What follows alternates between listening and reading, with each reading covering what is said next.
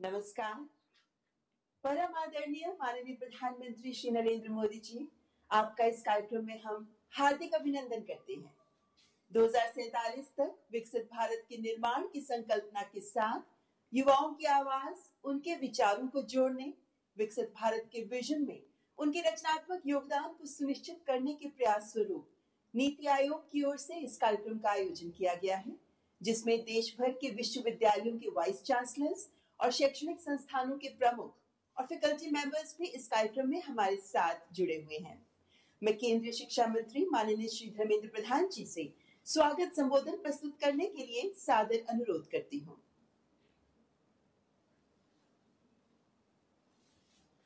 माननीय राज्यपाल एवं उपराज्यपाल समूह, प्रतिष्ठित कुलपति, निर्देशक और उच्च शिक्षा संस्थानों की सभी आदरणीय फैकल्टी समूह नमस्कार।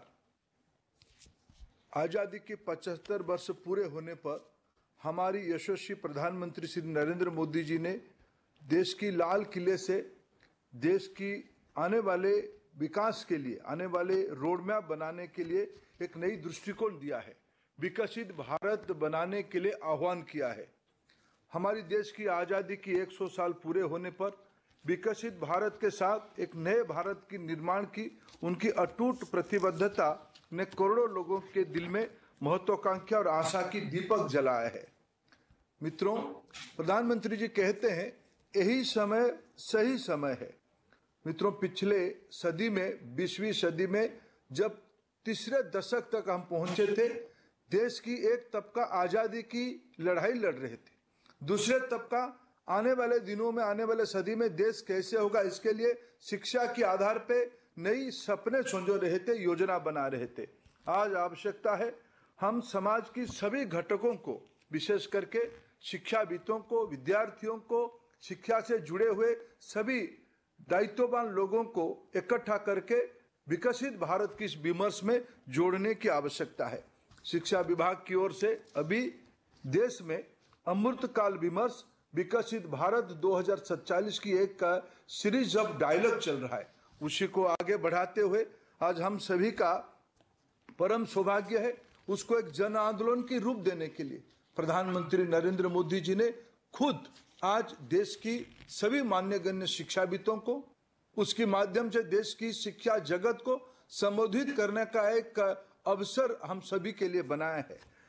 मित्रों, इस विमर्श में, नया आशा, आकांक्षा, समाज की सभी विषयों के ऊपर, राजनीति समाज नीति अर्थनीति, टेक्नोलॉजी, इनोवेशन, नई रोज़गार की सृजन और विश्व की एक नया दृष्टिकोण बनाने के लिए आज प्रधानमंत्री जी देश के सामने नया कल्पना रख रहे हैं। हमारी सारे एजुकेशन इंस्टीट्यूशन इसकी द्योतक बननी चाहिए। आज हमारी दायित्व है इस विमर्श को। देश की नई पीढ़ी के अंदर हमारी कुलपति, हमारे डायरेक्टर्स हमारे प्रोभस्ट हमारे सारे फैकल्टी जैसे आज़ादी की लड़ाई के समय में सभी के अपने अपने दायित्व था। आज प्रधानमंत्री जी ने आह्वान किया है, सभी को अपना कर्तव्य करना पड़ेगा। मित्रों, आइए आज हम लोग अपने कर्तव्य की, अपने हिस्सा की जिम्मेवारी को संभालें और अमृत काल में विकसित भारत हम सभी की जीवन की एक बड़े लक्ष्य हो। हम सभी की योगदान में शिक्षा को आधार करके हमारी व्यापक परिवार, एक नया भारत, नया विश्व की सृजन करे।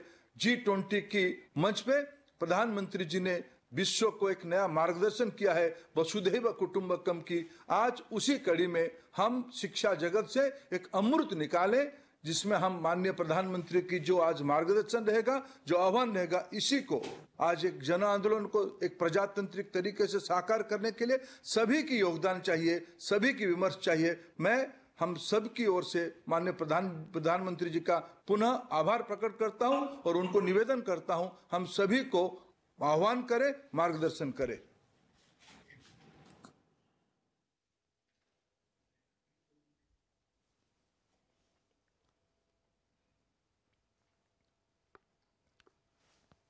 नमस्कार। केंद्रीय मंत्रिमंडल के मेरे सहयोगी धर्मेंद्र प्रधान जी देश भर से हमारे साथ जुड़े राज्यपाल श्री, शिक्षा जगत के महानुभाव, देवी और सज्जनों, आज विकसित भारत के संकल्पों को लेकर बहुत ही अहम दिन है। मैं सभी गवर्नर्स को विशेष बधाई दूँगा कि उन्होंने विकसित भारत के निर्माण से जुड़ी इस वर्कशॉप का आयोजन किया है। देश की युवा शक्ति को दिशा देने का दायित्व जिन साथियों पर है उनको आप एक मंच पर लाए हैं। शिक्षण संस्थानों की भूमिका व्यक्ति निर्माण की होती है और व्यक्ति निर्माण से ही राष्ट्र निर्माण होता है। और आज जिस कालखंड में भारत है उसमें व्यक्ति निर्माण का अभियान बहुत ज़्यादा अहम हो गया है। मैं आप सभी को वॉइस ऑफ़ यूथ वर्कशॉप की सफलता के लिए अग्रिम शुभकामनाएँ देता हूँ। साथियों, हर देश को इतिहास एक ऐसा कालखंड देता है जब वो अपनी विकास यात्रा को कई गुना आगे बढ़ा लेता है, ये एक तरह से उस देश का अमृतकाल होता है। भारत के लिए ये अमृतकाल इसी समय आया है। ये भारत के इतिहास का वो कालखंड है जब देश एक क्वांटम जंप लगाने जा रहा है। हमारे इर्द गिर्द ही ऐसे अनेक देशों के उदाहरण हैं जिन्होंने एक तय समय में ऐसा ही क्वांटम जंप लेकर खुद को विकसित बना लिया। इसलिए ही मैं कहता हूँ, भारत के लिए भी यही समय है, सही समय है। हमें इस अमृत काल के पल पल का लाभ उठाना है। हमें एक भी पल गंवाना नहीं है। साथियों हम सभी के सामने प्रेरणा के लिए आज़ादी का हमारा लंबा संघर्ष भी है। जब हम एक ध्येय के साथ, एक जोश, एक जज्बे के साथ आज़ादी को अंतिम लक्ष्य मानकर मैदान में उतरे, तब हमें सफलता मिली। इस दौरान सत्याग्रह हो, क्रांति का रास्ता हो, स्वदेशी को लेकर जागरूकता हो, सामाजिक और शैक्षिक सुधार की चेतना हो, ये सारी धाराएँ एक साथ मिलकर आज़ादी के आंदोलन की ताकत बन गई थी। इसी कालखंड में काशी हिंदू विश्वविद्यालय, लखनऊ विश्वविद्यालय Vishwa Bharati Gujarat Vidyapith, Nagpur university, Annamalai university, Andhra university university of Kerala, ऐसे अनेक संस्थानों ने देश की चेतना को सशक्त किया। यही वो कालखंड था जब हर धारा में युवाओं के भीतर आज़ादी को लेकर नई चेतना का संचार हुआ। आज़ादी के लिए समर्पित एक पूरी युवा पीढ़ी खड़ी हो गई। एक ऐसा विचार देश में बन गया कि जो भी करना है, वो आज़ादी के लिए करना है और अभी करना है। कोई चरखा काटता था तो वो भी आज़ादी के लिए। कोई विदेशी सामान का बहिष्कार करता था, वो भी आज़ादी के लिए। कोई काव्य पाठ करता था, वो भी आज़ादी के लिए। कोई किताब या अखबार में लिखता था वो भी आज़ादी के लिए। कोई अखबार के पर्चे बांटता था, वो भी आज़ादी के लिए। ठीक इसी तरह, आज हर व्यक्ति, हर संस्था, हर संगठन को इस प्रण के साथ आगे बढ़ना है कि मैं जो कुछ भी करूँगा, वो विकसित भारत के लिए होना चाहिए। आपके लक्ष्य, आपके संकल्पों का ध्येय एक ही होना चाहिए, विकसित भारत।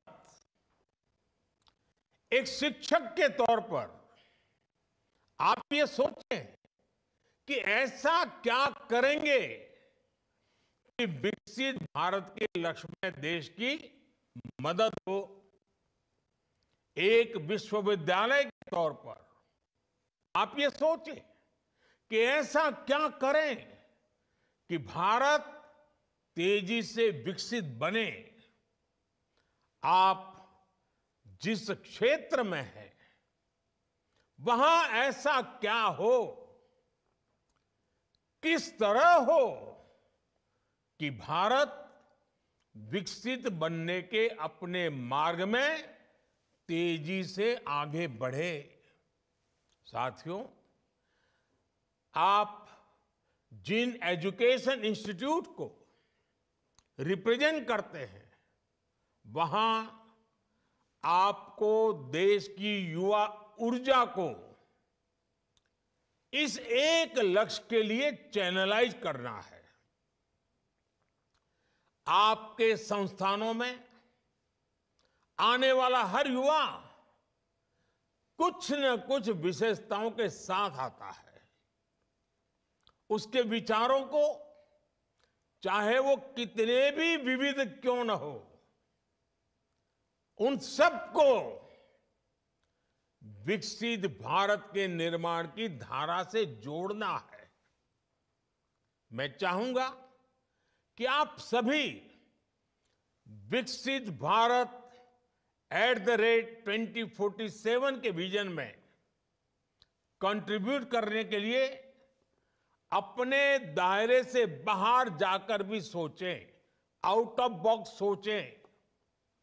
देश के हर कॉलेज और यूनिवर्सिटी में अधिक से अधिक युवा इस अभियान में शामिल हो सके, इसके लिए भी आपको विशेष अभियान चलाना चाहिए, नेतृत्व करना चाहिए, सरल भाषा में चीज़ों को व्याख्यायित करना चाहिए। आज ही माय गौ के अंदर Viksit Bharat at the rate 2047 section launch हुआ है। इसमें विकसित भारत के विजन के लिए आइडियाज़ का एक सेक्शन है।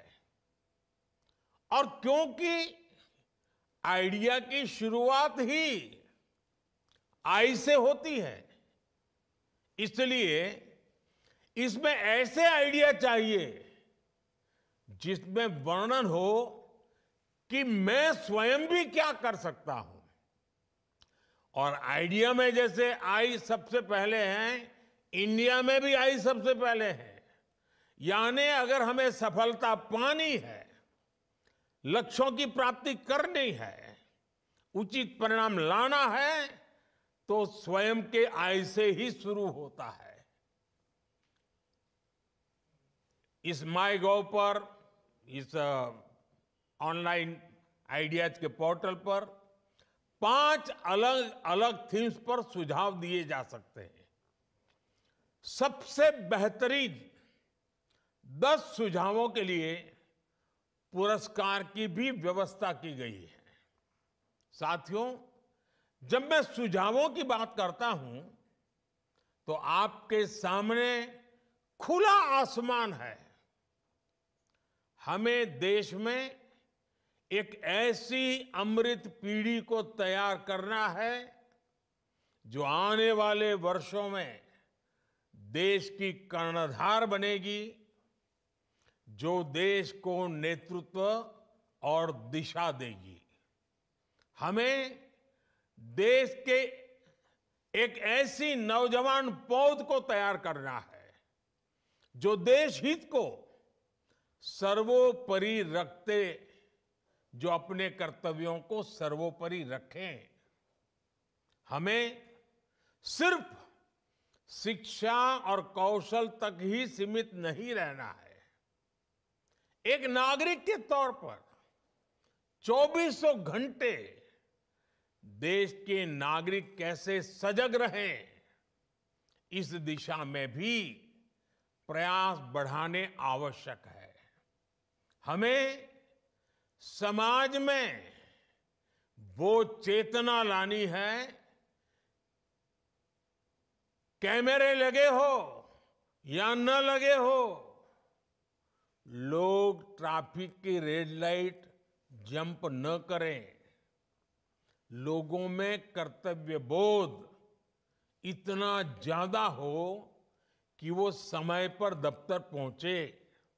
अपने दायित्वों को निभाने के लिए आगे बढ़कर काम करें।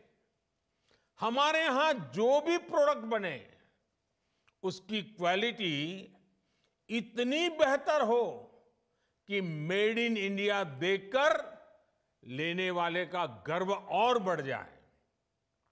जब देश का हर नागरिक जिस भी भूमिका में है जब वो अपने कर्तव्यों को निभाने लगेगा तो देश भी आगे बढ़ चलेगा। अब जैसे प्राकृतिक संसाधनों के इस्तेमाल से जुड़ा विषय है, जब जल संरक्षण को लेकर गंभीरता बढ़ेगी, जब बिजली बचाने को लेकर गंभीरता बढ़ेगी जब धरती माँ को बचाने के लिए केमिकल का इस्तेमाल कम होगा, जब पब्लिक ट्रांसपोर्ट के ज़्यादा से ज़्यादा इस्तेमाल के प्रति गंभीरता होगी तो समाज पर, देश पर, हर क्षेत्र में बहुत ज़्यादा सकारात्मक प्रभाव पड़ेगा। मैं ऐसे कितने ही उदाहरण आपको गिना सकता हूँ। आप भी मानेंगे कि छोटी छोटी बातें हैं, लेकिन इनका इंपैक्ट बहुत बड़ा होता है। स्वच्छता के जन आंदोलन को नई ऊर्जा कैसे दी जाए, इसके लिए भी आपके सुझाव अहम होंगे। हमारे युवा आधुनिक लाइफस्टाइल के साइड इफ़ेक्ट का मुकाबला करें। इसके लिए आपके सुझाव अहम होंगे। मोबाइल की दुनिया के अलावा बाहर की दुनिया भी देखे, ये भी उतना ही ज़रूरी है। एक शिक्षक के तौर पर आपको ऐसे कितने ही विचारों की सीडिंग सीडिंग वर्तमान और अगली पीढ़ी में करनी है। और आपको खुद भी अपने विद्यार्थियों का रोल मॉडल बनना है। देश के नागरिक जब देश के हित की सोचेंगे, तभी एक सशक्त समाज का निर्माण होगा।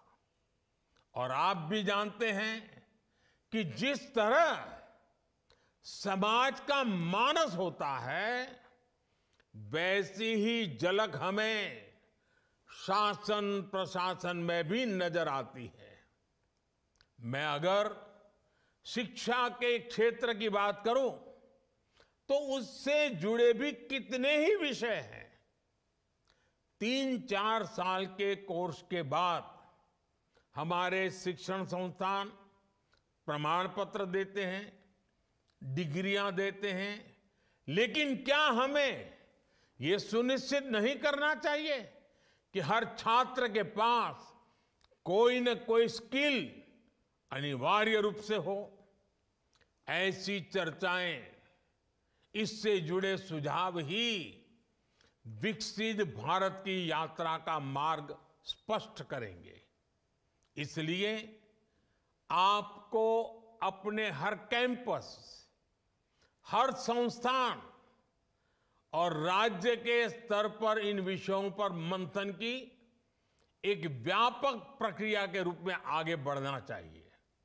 साथियों, विकसित भारत के निर्माण का यह अमृतकाल वैसा ही है, वैसा ही समय है, जैसे हम अक्सर परीक्षाओं के दिनों में देखते हैं। विद्यार्थी अपने परीक्षा के प्रदर्शन को लेकर बहुत आत्मविश्वासी होते हैं। लेकिन फिर भी अंतिम समय तक वो कोई कोर कसर बाकी नहीं छोड़ता। हर विद्यार्थी अपना सब कुछ झोंक देता है। समय का पल पल एक ही देह से जोड़ देता है। और जब परीक्षा की तारीखें आ जाती हैं डेट डिक्लेयर हो जाती है तो ऐसा लगता है पूरे परिवार की परीक्षा की तारीख आ गई है।